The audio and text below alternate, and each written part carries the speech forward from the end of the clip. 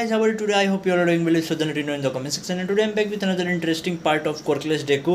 And this is part 2. If you haven't watched the first part, then you can check out our channel for the first part. And I will provide a link in the description. So let's get started with the video. Make sure to like the video and subscribe to our channel. Press the bell icon for the latest notification. Till then, take care. Bye bye and see you guys in the next video.